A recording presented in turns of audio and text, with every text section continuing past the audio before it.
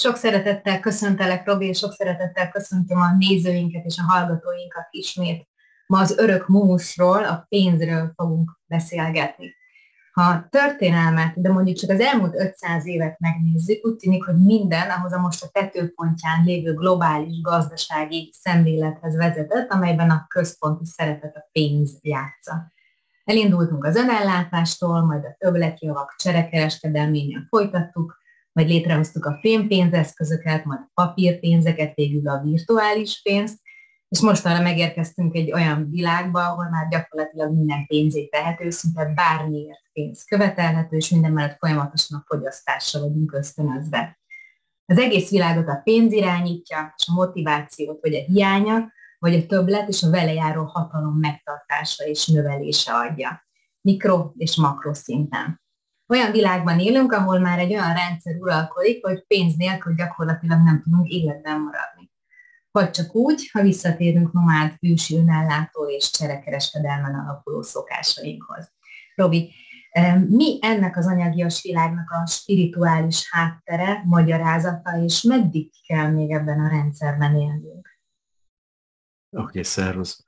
Jó töltött a, a kérdés, mert a, a pénz az az egyik legkomplexebb energia, majd gondolom beszélünk erről, hogy ez a, egy kifenomott női energiának a megtestesülése. Ezt én hallottam, ezt én tanultam, megosztom, mert nem vagyok benne százszázalékig biztos, hogy így van, de kb. 4000 évvel ezelőtt a pénz az egy ilyen kő tabletta, vagy ilyen tablet volt, és a, egy rabszolga a jegyzet volt, és azt írták fel, hogy ezért meg ezért, amit te majd én adok neked, mit tudom, megélhetést, vagy, vagy, vagy valamit, te a te szolgálatodat, mint rabszolga fogod a, visszateljesíteni, és elég hihetőnek hangzott, meg elég hiteles volt az eredeti, de azért osztom meg, hogy, hogy ez a belső hiedelemvilágunkra is utal, és bennem eléggé megütött. Megpendített egy húrt, és ez azért fontos, mert meg fogod látni, hogy a beszélgetésünk folyamán, hogy maga a pénz igazándiból az egy fajta energia, viszont nagyon-nagyon sok ellenrezgés van az emberben.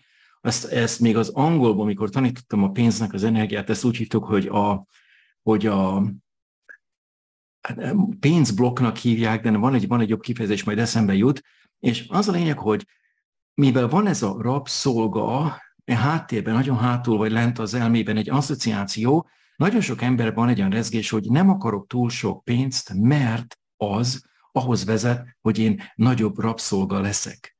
Na most ugye az egyik legnagyobb értékünk, mint embereknek, az a szabadság.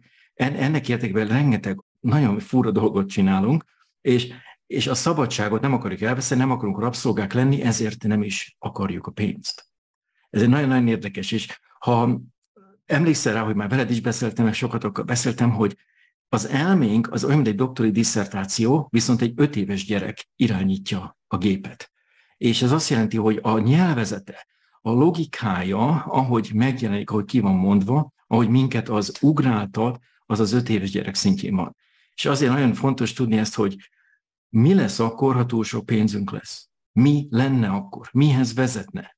És minél is inkább jobban, vagy ismered jobban a pszichológiát, annál látod, hogy olyan szinten tele vagyunk ilyen ellenállásokkal a, a pénz felé, hogy ez oda vezet, hogy később az ember előbb-utóbb elutasítja. Ja, igen, majd tudom, hogy hogy money rejection complex, tehát a pénz elutasítási komplexus.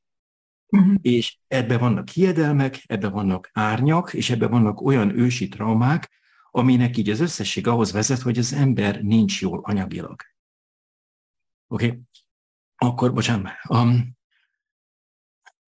a pénz, ugye az a fizikai síkon egy megélhetési csereeszköz.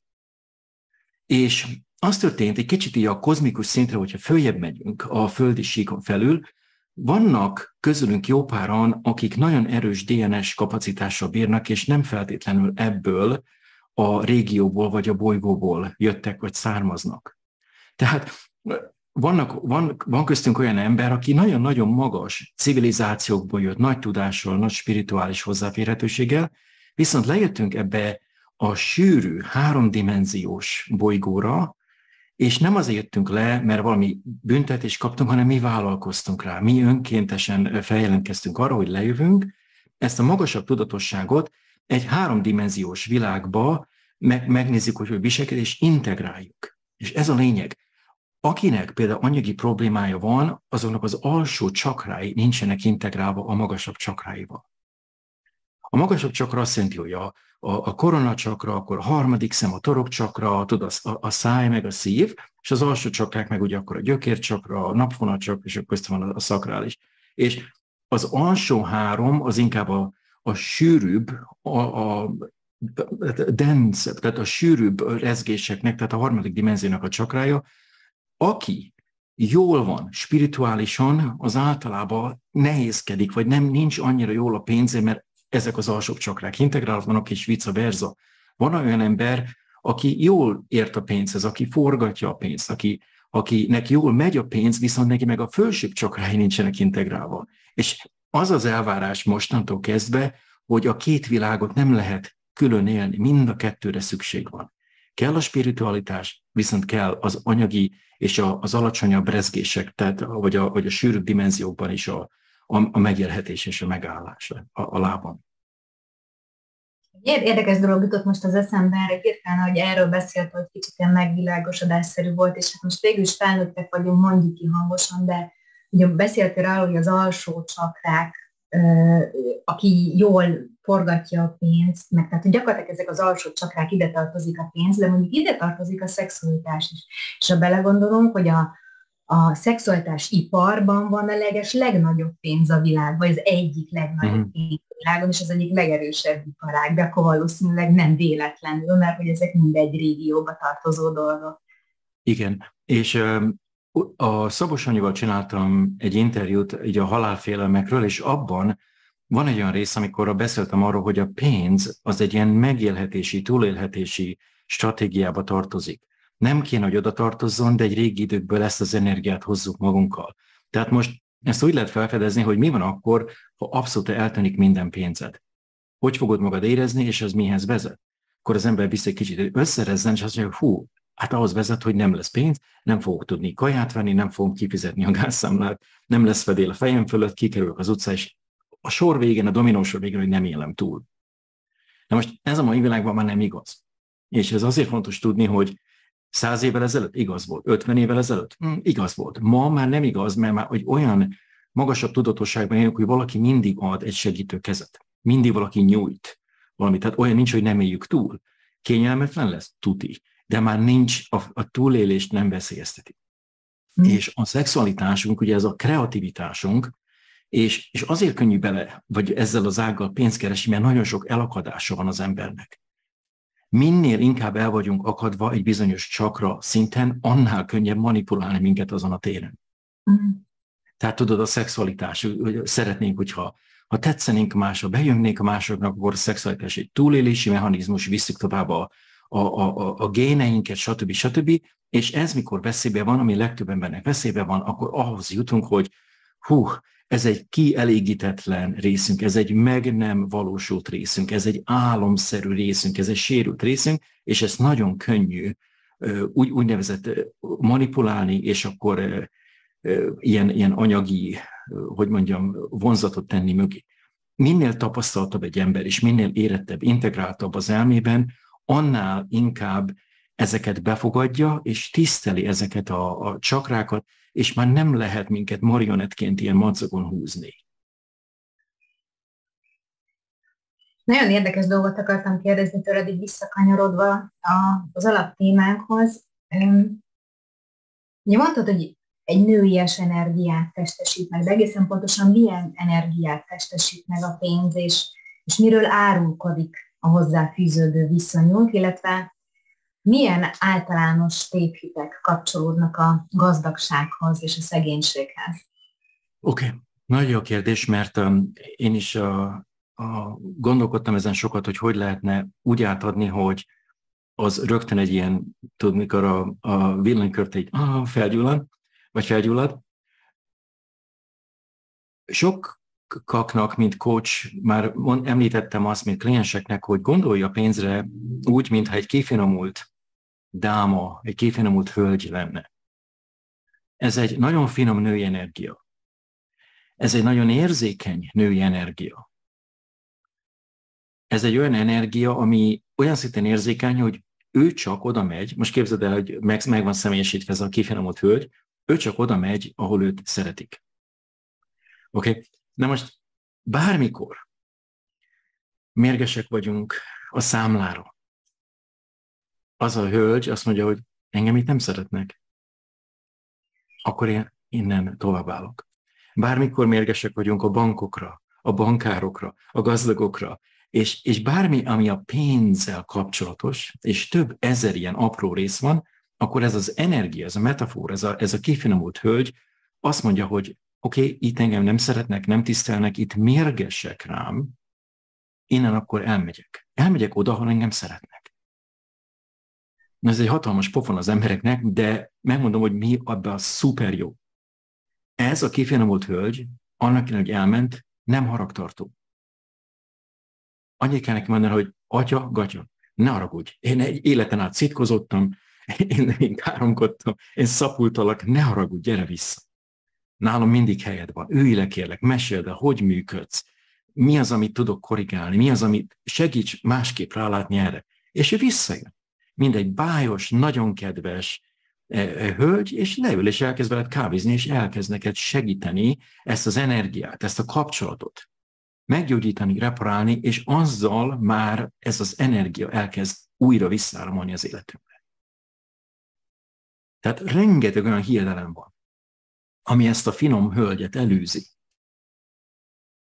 Technikailag hogy oldod meg azt, amikor jön a villanyszámla, vagy a gázszámla, és ott egy hatalmas összeg, hogy annyira automatikusan jön az emberben egy ilyen bosszankodás, tiltakozás, hogy úha, tehát hogy ezt, ezt hogyan tudod kikerülni? Nem lehet kikerülni. Tehát ezt integrálni kell magunkban. Azért kell az érzelem világunkat figyelni, és említettem többször, hogy néha pofára kell esnünk, néha el kell taknyolnunk ahhoz, hogy tudjuk, hogy valami nincs, tehát nem százas. Mikor felfedezzük magunkban, és gondolom ez a pár mondat után már a, hallgatók is, meg a nézők is mondják, hogy ezt én is csináltam, semmi gond. El kell taknyolni, különben nem tudjuk, hogy, hogy, hogy van ott valami akadály. És akkor utána azt kell csinálni, hogy beszélsz ezzel a hölgyel, és ott ez az első lépés, hogy ne haragudj, gyere vissza. Bocsánat.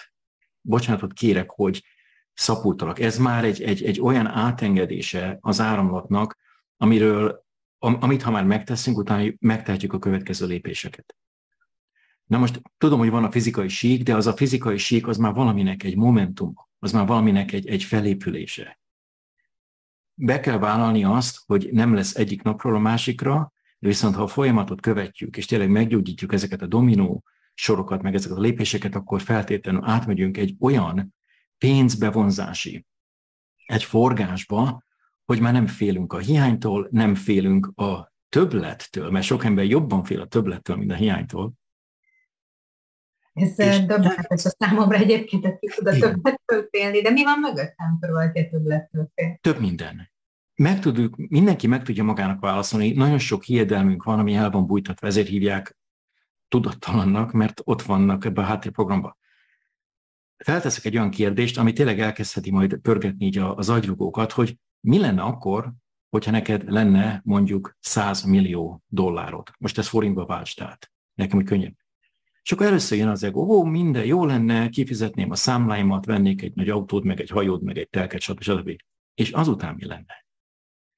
És akkor hogy fognak rád nézni a szomszédok? Hogy fognak rád gondolni a régi barátok? Hogy fog rád gondolni a család? És akkor innentől kezdve elkezdjük kavarni, hogy úristen, meg fognak támadni. Irigyek lesznek. Én azt mondanám, hogy nem érdekel. nem jó, érdekel. jó, de nem. De a legtöbb ember meg, meg nem úgy működik. Tehát rengeteg elakadásunk van. És akkor tudod, ilyen, ilyen, ilyen majdnem egy ilyen bosszantó szinten én kérdéseket feltenni, és mi van akkor, ha már nincs melletted senki barát, mert mindenki elment, mert, mert nem szeretnek, nem, gazdagokat nem szeretik és azt mondják, hú, hát én nem szeretek egyedül lenni. És látod, innen jönnek ezek a belső konfliktusok, a meg nem oldott dolgok, és oda vezetnek, hogy inkább nemet mondunk a pénznek, csak azért, hogy ne veszítsünk el más dolgokat az életben. Na most ez, ez csak egy, az egyik legpicibb része, hogy mi lenne akkor, ha rengeteg pénzed lenne. Akkor félünk a megtámadástól. Nagyon sok múlt életünkben volt, hogy meg gazdagok voltunk. Azt hiszem, hogy veled beszéltük, a tricsilliárdos, meg mindenünk megvolt, és akkor letámadtak minket kiraboltak minket. Akkor én, fú, hát én nem akarom, hogy kiraboljanak, és akkor tudod, elkezdjük redukálni, úgy számoljuk a pénzt, hogy hm, ha nagyon, ha kirabolnak, akkor se legyen nagy a veszteségem. És akkor így be a veszteség traumái, emlékszel? Amíg azok nincsenek feldolgozva, addig nem tudunk másképp gondolkodni. Addig mindig úgy próbálunk manipulálni, hogy pont ez az, ez, a, ez az arany középút legyen, az arany középút, az meg megint egy langyos víz. Aztán, akkor van egy olyan, hogy hogyan gondolunk a gazdagokra. A gazdag ember az, és akkor rengeteg olyan, kapzsi. Aha, az. Van kapzsi, van nem gazdag ember, aki kapzsi? Van. Tehát akkor nem a gazdag emberek kapzsi, hanem az emberi tulajdonságok között ott van a kapzsi. És azért mondanak nemet ez emberek a pénzem, hogy nem akarnak kapzsi színben feltenni. Mert mi történik a kapzsi emberrel? Ember kiközösítik. Megint ezek az ősi túlési stratégiák. Egyedül leszünk. Nem éljük túl. Tudod? És olyan, van ez az öt éves gyerek logika, ha ezt el tudjuk fogadni, és elkezdünk vele kooperálni, és, és együtt dolgozni, akkor nagyon komoly áttörésekre tehetünk szert. Akkor itt van egy nagyon érdekes dolog, amire kevesen gondolnak, mert elég sokan rezgik ezt a rezgést. A szegénység. Van egy olyan hiedelem az emberekben, hogy szegénynek lenni az nemes, vagy az, az dicséretes. Ez a gazdagnak lenni tudod, Kavi, ennek az ellenkező. Gazdagnak lenni bűn, ez egy hiedelem, romboló hiedelem. Szegénynek lenni, az, tudod, az azért jó, mert pont, pont, pont, és az ember befejezi. Na most igazándiból, ha megnézed egy magasabb fokról, a teremtői szintről, bocsáss meg a kifejezésért, de belemondom, mert muszáj néha megütni egy ideget, hogy az ember tud így magához térjen, szegénynek lenni bűn a bőség tengerébe. Oké, okay. ezt nem én találtam ki, ezt nekem is a mentorai mondták, engem is izé, tudod, hogy hagyos csapott, mint az, az óceáni hullám, de azért van, mert tele vagyunk olyan hiedelmekkel, mint amit említettem, hogy szegénynek lenni nemes, gazdagnak lenni bűn, a kapzsiság ez meg az meg az. És amíg ezeket a hiedelmeket nem tárjuk fel, és precízen nem oldjuk fel, addig a valaminek az áldozata, valamilyen gondolatmenetnek az áldozata leszünk. És akkor, még jön akkor egy kicsit az a, a egy másik teória, amit ilyen konspiráció teóriának lehet akár titulálni, de már olyan nincs, mert minden valóra vált, hogy, hogy a legfelső kasztnak volt egy olyan trükkje, hogy beinstalálták az emberiségbe a szegénység árnyát. E fölött nagyon trükkösen beinstalálták a szegénységtől való félelmet. Ez ugye a részkonfliktus és ez egy ilyen, ilyen csiki egy, egy ilyen sakmat helyzetet teremtett az embereknek. Azért kell a belső munka. Ne féljünk a szegénységtől, ne féljünk a gazdaságtól, ne féljünk a pénztől, ne féljünk magunktól, ne féljünk a teremtő erőnktől. Tudod? És látod már, hogy, hogy tényleg ilyen 10-20 irányból jön, és minden irányból jön 10-20 másik darab, akkor megszózik, egy pár száz dolognak vagyunk így a központjába a marionett bábúja. És még az is történik, hogy ahogy fejlődünk, ahogy tisztítjuk ki magunkat, egyre más és a kihívásokkal fogunk szembenézni. Tehát én is, mikor mérnök voltam, én hát durván 120 ezer dollárt kerestem egy évben, akkor ebben meg, emellett meg volt a BMW, az ötös, meg fizette a vállalat, meg csomó minden fizett, tehát nagyon jó kerestem. Magyarul havonta volt nekem kb. 10 ezer dollár költőpénze. Ez marha jó, oké? Okay? Na most, Amikor beteg lettem, akkor tudod, átmentem betegállományba, utána beintettem a, a régi világnak, és elmentem magánvállalkozóba, és az egész pénz világom szétesett. Utána nem tízezret, hanem nullát kerestem. Jó, volt félretett pénzem, tehát hál' Istennek azért ez megvolt, csak tudd azt az érzés, mikor van egy, egy, egy jó flow, mikor ez az áramlás ott van, és egyszer csak megáll. megáll. És, és utána nagyon észnél kell lenni, azért kell a belső integrálás, hogy ne azt mondjuk, hogy úristen, és visszafutunk a régi rendszerbe, ami egy involúció lenne, tehát visszafejlődéshez vezetne, hanem megyünk fel tovább, átdolgozzuk magunkon a félel, magunk, magunkat a félelmeken, és megtanulunk újabb teremtési, pénzteremtési formákat. Dr. Um, uh, József, Dr. Joseph Murphy azt mondta mindig, hogy, hogy az Isten, God is the source of my supply, a teremtő az én a ellátásomnak a forrása. És ha az emberek be tudják fogadni, hogy eléggé úgy néztük eddig az életet, hogy ettől kapok fizetést, ettől kapok pénzt, ez tudod, ez a vevőm, ez a kuncsaftom, aminek van valami jogos alapja, viszont ez oda, oda vezet, hogy istenítjük és félünk ugyanattól az embert, akit kiszolgálunk, nem tudván azt, hogy lehet, hogy ennek az embernek adni fogunk valamit, és az más irányból térül vissza. És ezért az ember, emberiség eljutott egy olyan pontra, hogy már nem merünk adni. Nem merünk szívből adni, mert attól félünk, hogy kirabolnak, hogy átvernek, hogy átcsesznek, és ez oda vezetett, hogy egy ilyen teljes stagnálás, egy mocsár, mocsárhoz vezetett anyagilag. És ezt azért mondom, mert abban a pillanat, amikor átdolgozod magadban ezeket, a, vagy kidolgozod ezeket a félelmeket, és integrálod, elkezdesz tudni adni, adni magadat, ami busásan és bőven meg lesz jutalmazva a, a, a világ által és a teremtő által. És minél őszintében, minél inkább szívből adunk, annál nagyobb lesz a, a jutalom, és annál nagyobb lesz a bevételünk. És ez az új világnak a pénz mentalitása. Eddig tudod, mit adtunk? Lecseréltük, cserébe adtuk az időnket egy fizetésért, egy fizúért. Működik, működik, és előbb-utóbb már eljutunk olyan pontra, hogy már rabszolgának érezzük magunkat, már nem akarjuk ezt, ki akarunk törni, magunk akarunk lenni, életcélt akarunk találni.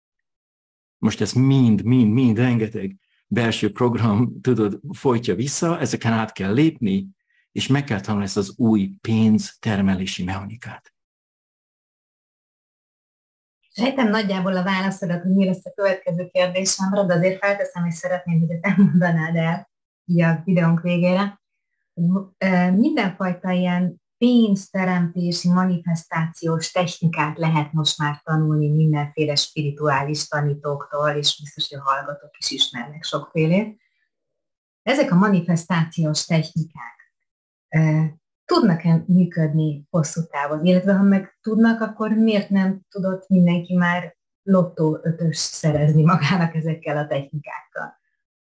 Tudsz ilyen technikát? Tudsz említeni egyet? Vagy Hát, hogyha mondjuk az Abraham Hicks-ékre gondolok, akik ugye azt mondják, hogy, hogy ők is, meg sokan mások is azt, hogy ugye benne vagy ebben az örvényben, és benne, hogy átteszed magad abba a rezgésbe, hogy te gazdag vagy, és hogy neked már van pénzed, akkor ugye ezzel a rezgéssel fogsz tudni bevonzani pénzt is. Oké, értem. Um, ez érdekes, én szeretem az Esther Hicks-et, tudjuk is, hogy hol lakik, San Diego-ban, lát, ott fent a, a Delmar, Kaliforniában, és szeretem a tanításait, viszont az Eszter meg is mondja sokszor, hogy ő neki könnyű élete volt. Ő neki ott volt a Jerry, aki egy milliómos volt, és ő pénzelte azt, amíg megtanult, ahogy ő mondja, idézőben szellemekkel beszélni. Na, nagyon édes az Eszter, szeretjük, sokszor láttuk élőben a, itt a, a, a, Amerikában. Tehát vannak olyan emberek, például az Ulinak is a legkisebb fia, rengeteg jóket keres, és nagyon könnyed jön, jön a pénz, forog a pénz. Vannak öreg lelkek, mint én, nekem nagyon jól jött a pénz, utána megállt. Tehát, ott minden technika működik egy bizonyos tartományon belül. Viszont amikor azon a tartományon már vagy kívül állunk azért, mert a régi dolgozat, feldolgozatlan részeink felrobbantak, és rendbe kell, hogy rakjuk, vagy már evolúció szinten feljebb emelkedtünk, akkor más technikákat kell megtanulni és alkalmazni. Mondok egy, egy példát, amit említettem, azt hiszem neked vagy a Gáborral beszéltem, nem emlékszem, hogy amikor én elváltam, akkor is kerestem itt a jó sok pénz. Mérnök nagyon jó keresnek Amerikában. Tényleg jó, talán az egyik legjobban kereső állás. Elváltam, és akkor utána jön az, a gyerektartás, utána akkor tudod, a volt feleség beperelt. Na most akkor erre mit csinál az ember automatikusan? Hú, oké, okay, falat húzunk, nemet mondunk, akkor olyan döntéseket hoztam én is, és ezt azért mondom, mert nagyon sokan csináltak, főleg a, a vállás utáni a férfiak, még nők, hogy, hogy innentől kezdve vigyázok a pénzre, és titokba tartom, leredukálom. Még egy olyan döntést is hoztam, nem akarok több pénzt keresni, mert akkor több adót kell fizetni nem akarok több pénzt keresni, mert akkor abból többet kell neki adni a már régi volt feleségnek, az új ellenségnek. És és, és így gondolkodunk. Az, azért kell ezt rengeteg, tudod, én apró ilyen belső ellenállás feloldani. Tehát van három ugye fizik vagy, vagy pénzkeresési stílus, és mindegyiknek megvan a maga evolúciós szintje. Az első szint az a fizikai síkon a pénzteremtés. Ez azt jelenti, hogy, hogy dolgozunk, tudod, van ez a, hát ilyen belső hiedem, hogy minél keményebben dolgozunk, annál többet keresünk. Ez megállja a helyét, megállta a helyét, viszont ez kiégéshez vezet, mert tudod, abban a pillanatban, amikor nem dolgozunk, akkor már megáll a pénz. Van a második lépés, tehát ez volt a fizikai sík, a második sík, azt tudják, hogy a pszichológiai sík. Itt vannak az ébredők. Itt van az, hogy már tudjuk azt, hogy a pénz az egy nagyon precíz energia. A hangulatunk befolyásolja, befolyásolja ez, meg ez, meg ez, az érzelmek, a rezgések, és stb. stb. És tudjuk azt, hogy lehet teremteni másképp, és akkor dolgozunk magunkon, és csináljuk, tudod, a dolgokat. Viszont hát tudjuk azt, hogy a, a rezgésénk felelősek az eredményekért, viszont mindig nincs megoldás. Az legfelsőbb, ugye volt a fizikai, akkor a pszichológiai, és akkor a spirituális sík, az meg az, mikor már nagyon kitakarítottuk magunkat, és tudjuk azt, hogy ami belső megjelenésünk, a teremtő, ahogy szolgáljuk, a teremtő meg fog minket jutalmazni több irányból.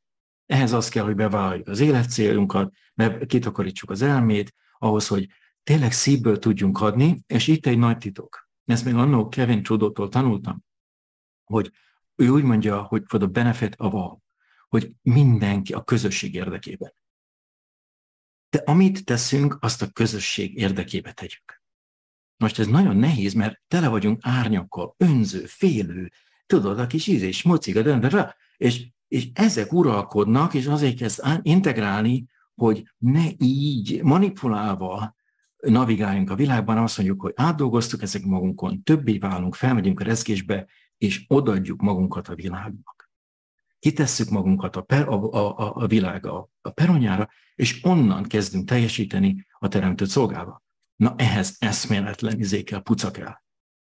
Szóval, tudod, nekem se volt egyszerű. Csak mondom, hogy ez lenne, a, ide, ide kell eljutni az emberiségnek. Mindegyik ségnek megvan a maga haszna, megvan a maga fontossága, meg a jelentősége, meg a, ezek lépcsőfokok, de azt kell megtanulni az emberiségnek, hogy hogyan tudunk úgy megjelenni a világban, hogy nem versengve, hanem egymás segítve, a teremtőt szolgálva magunkat adjuk az egyedi ajándékunkat. Tudván az, hogy busásan meg lesz jutalmazva. Így mondja busásan? Igen. Oké. Okay. Még csak ilyen 30-40 éves emlékekről beszélek. Nem, nagyon jó emlékezem. Okay. Visszacsatolásképpen csak még valami, aztán hagylak menni költözködni. Sokat gondolkoztam azon, hogy és hát én így tudok teremteni néha. Tehát ilyen döbbenetes dolgokat, Igen. tehát nincs meglepően bizonyos életterületeken. Csak azon gondolkoztam sokszor, hogy ha én, ha én néha így tudok teremteni, akkor miért nem tudok teremteni így egy lottó ötöst mondjuk, vagy egy Eurojackpotot, vagy valami ilyesmi. És rájöttem, hogy én bennem meg az dolgozik, mert éreztem, hogy valami ellenérvény dolgozik, hogy nekem mindig az jön föl, úgy érzem, hogy nem érdemlem meg. Mert ha én lennék a jóisten, én tudni nem a Bolenszki Szonyának adnám az Eurojackpotot, hanem okay. van egy csomó neki más, akinek odaadnám, és a többi. És akkor rájöttem, hogy erre a gondolatra viszont nekiállok alkudozni, én a Jóistennel, hogy figyelj, ha nekem odaadod, akkor én megígérem, hogy majd őt segítem, meg őt segítem, meg őt, uh-huh. én alapítványt, meg és a többi, stb. És akkor így, itt talán odaadod nekem. És én, én, én, én, én, ilyen dolgokat folytatok le a fejemben ezzel a pénzteremtési dologgal kapcsolatban. De ezt nagyon jó, hogy mondod, mert tudod, a, a gyógyuláshoz ö, alázatosság kell nagyon nehéz alázatosnak lenni, ugye főleg az erős személyiségek melegszes azt mondja, tudod mi? Majd én, na ezt már játszottuk egy millió éve, tehát ez, ez működik, ahogy működik, de már annyira nem. És az érdemesség, érdemtelenség, méltóság, méltó, ezek nagyon-nagyon domináns energiák. És az elmébe ezeket a hiedelmeket nem lehet felülírni megerősítésekkel. Nem lehet csak azt mondani, hogy de én megérdemel a pénzt. Csak az univerzum, hogy igen, na, gyere, mutatok neked egy van itt egy, van itt egy raktár, itt mind a te jegyzeted van, és megmutatom neked, hogy miért ez nem jöhet létre addig, amíg nem takarítod. Ezért nagyon veszélyesek az megerősítések, mert az univerzum mondja, hogy semmi gond, akkor tudod, kös fel, vagy, vagy kös fel a gatyádat, és mutatok egy pár dolgot. A, a legesleg jobb dolog, a leggyorsabb az alázatosság, és ezt mondtam már páratoknak, hogy mindenki taknyolt el, mindenki esett pofára, mindenki követett rengeteg hibát, ezt persze az ego ellenünk használja, és rezeg és dühösek vagyunk.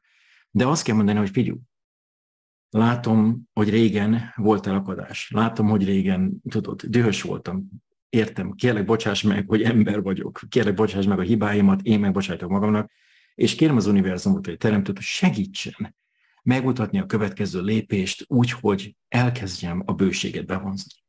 Tehát az a lényeg, hogy az előre haladáshoz két dolog kell. Kell egy, egy, egy feltöltött mágnes, ami húz, és el kell kezdeni oldani azokat a régi dolgokat, amik visszahúznak. Erről beszélek sokat, a legtöbb spirituális tanítás csak erről beszél. Ezért van erőharc. A, a, a vonzás törvényét tanítók között és a realitások között, mert addig ez nem tud húzni, amíg a kézifékbe van húzva, vagy amíg le van láncolva ez a készülék, vagy a gép. És ha úgy érzed, hogy betudsz, vagy neked van ez, a, ez az nem érdemle meg, stb., nagyon könnyen el tudod engedni ezt a hiedelmet, meg tudod kérdezni magadtól, hogy ezt én mikor, ezt a döntést mikor hoztam meg. És akkor tudod, jön egy válasz. Lehet, hogy visszavisz az őseidhez. És akkor megnézed azt a történetet, hogy ott mi történt, amikor ez a döntés lett meghozva, hogy te nem érdemled meg. Nem egy egyszerű, nem egy egylépéses folyamat, mert igazán mindenki megérdemel abszolút bőséget. Megérdemel az abszolút szeretetet, az abszolút mindent, a teremtőt, de amíg ezek a hiedelmek ellenállnak, ellenrezegnek, addig a két világ között találjuk magunkat. És akkor azt a történetet megoldod, akár azzal a nagy technikával is, ami most kívül kurzusomban ott van, és feloldod ezeket az energetikai, um, hogy mondjam, blokkokat, és ez az érdemtelenség energia, ez eltűnik. És akkor utána a, az, ezek a tanítások már működni fognak egyik nem megy a másik nélkül. Fel kell oldani a régit, és célokat, irányt kell magunknak adni, és bátorságot és tudatosságot, meg akaraterőt használni arra, hogy nézzük, hogy még mi van, mi áll ellen. Oké? Okay? És a pénz, mint ahogy említettem, az egy női energia. Mikor azt mondod, amit te mondtál, te például, hogy hát ezt nem érdemlem meg, és akkor tudod, a hiedelemrendszert fel lehet úgy, vagy el, le, le tudjuk úgy bontani, dekódolni, hogy ezt azért mondtam, mert, mert, mert, és akkor le kell írni minden választ. Minél jobban ismered a spirituális pszichológiát, annál jobban a, a, tudod, a fején találod majd a szöget. Maga az, hogy nem érdemlem meg, az még csak a kezdet. Alatta vannak úgynevezett szponzoráló gondolatok, szín szponzoráló vagy ellenálló gondolatok, ha azokat feloldod, akkor ezt feladod a tetején, akkor kiütöd igazán ezt a dominósort. És meg fogod látni, hogy ezek az alsó rezgések ugyanolyan erővel bírnak, még akkor is, hogyha tudattalamban vannak. Nagyon sok ember szem, én nekem is rengeteg volt. Erre mondtam sokszor viccesen, tudod, hogy, hogy több videómban, hogy, hogy idesélek többet. Ez nekem nem kell, ez nekem nem való. Minden hisztis pillanatunkban elutasítunk úgynevezett erőforrásokat, és onnan tudod, hogy valamit elutasítottunk, hogy szeretnéd, de nincs jelen. Tehát kell a pénz, szeretnéd a pénz, de nincs jelen. Gyors kérdés, és nem egyszer válasz, hol utasítottad el? Hol utasítottad el a bőséget? Hol utasítottad el az áramlást? Most még azt mondom, hogy te, tehát mikor tegezzek, akkor lehet, hogy az őseid voltak. Mm. Tehát rajtunk keresztül jönnek ki ezek az ősi minták, és Tudod, azért is említettem, hogy enyém, tiéd, övé, tök-tök minden nem számít. Rajtad jön ki, a teremtő, az univerzum megkért, hogy te old fel, légy szíves, mert a bőség tengerébe ez a szegény hozzáállás, ez, ez bűn. Tudod, nekem is a mentoraim ezzel jó felpofoztak, hogy több évig tanultam tőlük a pénzenergiát, de tényleg nem kell szégyenérzet, lehet, hogy lesz a folyamat, amíg megyünk át a folyamatban, de meg kell tanulni ezt a pszichológiát, a pénz pszichológiáját. És akkor vannak ilyenek, leírtam ezt, mert magyarul nem nagyon emlékszem rá, hogy lehet, hogy segíts kérlek, hogy így mondják, hogy a pénz minden gonoszság gyökere? Ez így helyes. Oké, okay. Tehát ugye, hogy, hogy money is the root of all evil, és ez, ez ekkora baromságot, ekkora izét félrevezetést, és akkor szok, én nem akarok gonosz lenni, aki persze ott ezek az elmében a gonoszság, amíg ez nincs integrálva, és akkor azt mondja, hogy hú, hát akkor nem, akkor is mi elutasítunk mindent, benne a pénzt. Írtam még le egy-kettőt. A, a pénz visszatartására mert beszéltem, hogy nem akarunk túl sokat, nem akarunk túl sok adót fizet, nem akarunk a, az ex-nek, tudod, asszonytartás, gyerektartás, stb. ilyesmi. És akkor említettem azt, hogy szegénynek jobb lenni, mert ha szegények vagyunk, az jobb emberré tesz minket. Ez egy nagyon gyakori hiedelem. Oké? Okay? Gazdag ember kapcsi, stb. stb. Na most, hadd mondjak még valamit, tudom, hogy rengeteget mondok, ez mint a tűzcsap, de se baj, hogy én ezt tanultam a mentorjaimtól, természetesen, és tényleg bevált, és tényleg nagyon jól működik, csak nagyon sok lépés, akár több száz lépés, de ha tudatosan csináljuk, akkor egyik napra a másikra jobb lesz. A pénznek van egy olyan speciális nyelvezete, amitől az áramlik, és van olyan nyelvezet, amit általában mi használunk, amitől megáll az áramlás. Van egy olyan szó, amit magyarul azt mondjuk, hogy költeni. Elköltöttem. Ma ennyit költöttem a boltba. Most ennek az energia az az, hogy véges. Ez már elveszett. Itt van vége, fuss el véle. És ez megint a feloldatlan veszteségi traumáinknak egy felelevenítése, nem akarunk többet veszíteni, ezért nem költünk, ezért nem jön be, mert nem adunk. És ahelyett azt mondják, hogy költeni, drágaság, meg ez, meg ez, mi van akkor, ha ezt az egész koncepciót, és ez lehet, hogy hetekig, vagy pár éve beletelik, míg ezt úgy ádrótozzuk magunkba, azt mondjuk, hogy forgatjuk a pénzt. Áramoltatjuk. És akkor már az adása a pénznek már nem lesz olyan fájdalmas, mert tudjuk azt, hogy amit adunk, azt visszakapjuk. Már nem költünk, véges, jaj, mi lesz lyukas a hajó, tud eddig nem sétsz, ha? Minél többet adsz, annál többet kapsz. Most ez nem azt jelenti, hogy égeti pénz a kezünket, és akkor tudod, költünk jobbra-balra, meg szólik a pénz, hanem észnél vagyunk, de már nem félünk az adástól, nem félünk a kiadástól, de ugyanakkor nem félünk az elfogadástól sem. És ezzel megvan ez az áramlat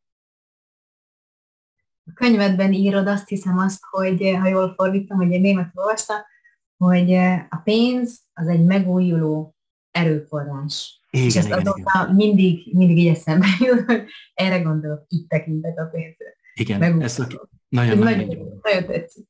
Ezt a Kevin Judótól tanultam amúgy, még 2011-ben, hogy money is a renewable resource, és, és tényleg így van. Tehát ha tudod azt, hogy nem veszik el, ez olyan, mint hogyha Tudod, veszel egy vödörvizet az óceánból, akkor ezt elviszed, magad röntöd, attól az óceán még ott van. Visszamehetsz többért. Mindig van újabb erőforrás. És ezt én vettem észre, és tudod, nagyon sok változásra mentem én is el, mert alkalmazottból, jól fizetett alkalmazottból elmentem, átmentem a kisvállalkozóból, és eszmetlen más világ.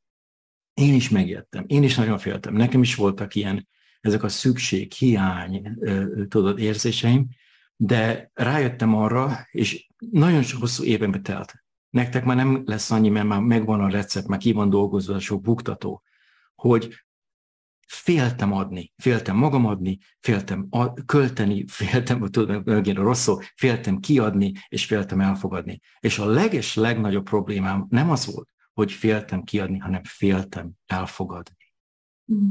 Mert milyen, és, és akkor itt van megint egy ilyen trükkös ego logika, hogy mi lesz akkor, ha én elfogadom? Veszélyes? Biztonságos? Mit fog szólni ő? És ő? És ő? És nem, nem is veszik észre, hogy több száz ilyen, ilyen villámgyors gondolat van, és ezek dominálják, ezek befolyásolják a döntéseink. Robi, köszönöm szépen. Innen folytatjuk, vagy elkezdjük máshol, vagy meglátjuk. Nagyon érdekes volt a mai beszélgetés is. Elengedlek, mert neked most nagyon sok dolgod van.